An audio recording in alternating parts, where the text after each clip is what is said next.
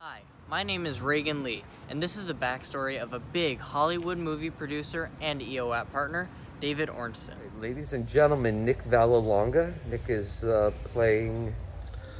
Derek Stevens, Detective Derek Stevens. What do you think about making a movie during COVID here? Well, I think it's amazing what uh, Rich and Dave pulled off here and George because, you know, to make a movie under these circumstances is pretty rough, but everything is smooth. The COVID protocols are excellent, and it's actually, it's not that bad. Everyone knows we're in this together. Get your tests, everyone's wearing masks, social distancing. It's, uh, it's working, so they managed to pull it off, which is quite a feat. I'm happy to be a part of it. So I'm with Jared Briley. He's our first AD. So making a movie in 2020 is a big challenge. This movie in particular has its own challenges, but with an experienced director, it's been uh, it's been a fun, wild ride. Just you know, having him on set really work through everything with an edit in his mind, it, it makes us certainly move quickly, and and that's what you need regardless. But then when you factor in COVID, it becomes an even bigger challenge. You know, you're doing a private rehearsal with the actors the keys come in and watch from afar and then cast exits one direction crew comes in another and you're off to the races kind of planning out the day. So fortunately everybody's been excited to get back to work and i think the biggest thing for us has been you know a game crew and a game cast and, and great performances coming from them this film has been an incredible experience. There have been ups and downs with hurricanes and, and COVID here, and it's it's really been incredible to watch everyone come together as a team to really make this film. With Richard Salvatore, my producing partner of 25 years. The interesting part about COVID was that you had to bring people in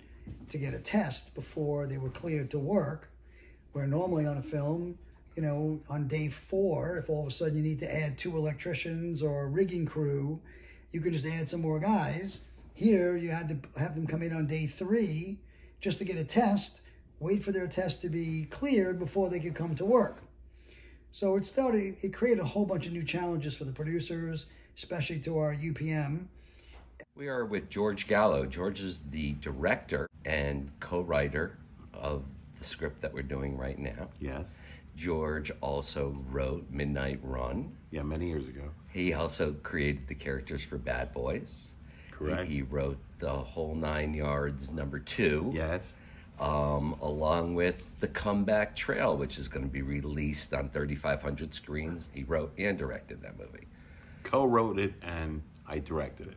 Josh Posner was my writing partner. I have to give Josh a shout out. Tell us a little bit about your experience here, George. Uh, making a movie under COVID uh, restrictions. Uh, first of all, you know, it, it was uh, certainly uh, different.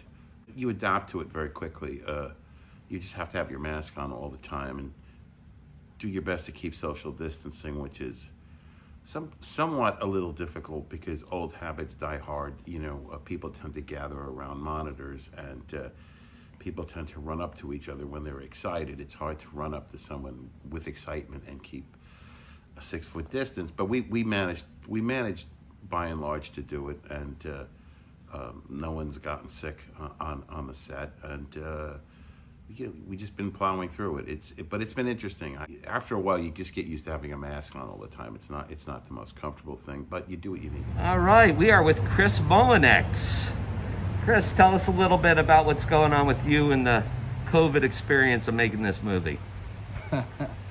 Actually, it's been pretty cool. So, I mean, everybody has been uh, it's been very organized. Uh, everybody realizes how important it is and has been real cooperative. And Joel, tell us uh, what's been happening. Well, we're currently making a movie under COVID, which is interesting but doable.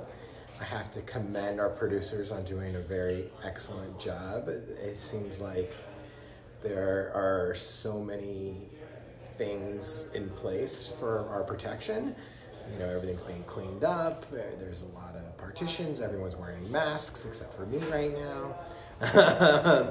We've all been tested multiple times. You go on location, you, uh, you know, you go to a hotel and you stay in the hotel. On this film, we're staying in condos, and my roommate is David Ornston, one of the other producers, who is also one of my oldest friends in Los Angeles. So been fun rooming with Dave, although, you know, he tends to walk around without a shirt on quite often. So, you know, that's a little bit of, uh, you know, I don't want to say an eyesore, but, you know, could be alarming if you walk around the corner.